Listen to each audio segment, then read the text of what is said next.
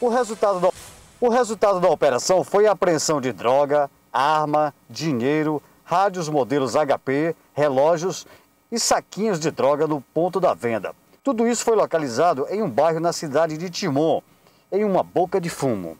Foram sete prisões realizadas pelas equipes de investigação aqui do município de Timon e todas no bairro Bela Vista, a região conhecida como Becos.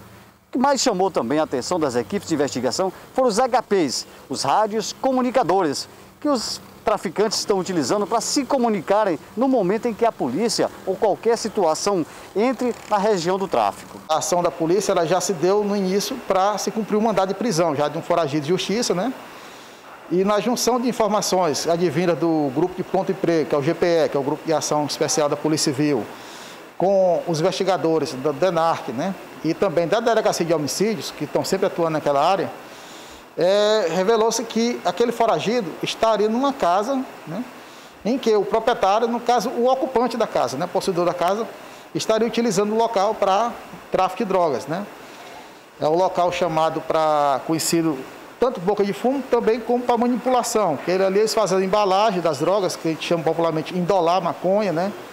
E embalagem também de cocaína e crack, quebrar pedra. E dali são distribuídos para os vendedores.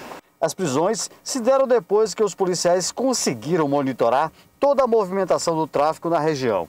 Um dos pontos que chamou a atenção foi a utilização dos rádios pelos soldados do tráfico no bairro Bela Vista. Caracteriza mais uma vez que eles estão usando essa ferramenta de, de, de transmissão de comunicação né, para serem acionados toda vez que há a presença da polícia naquela região. Realmente a gente vê que é um bairro ali que, infelizmente, a região do bairro Bela Vista foi contaminado né, pelo pela questão do tráfico de drogas, né? Muitos usuários e também muitos vendedores de drogas.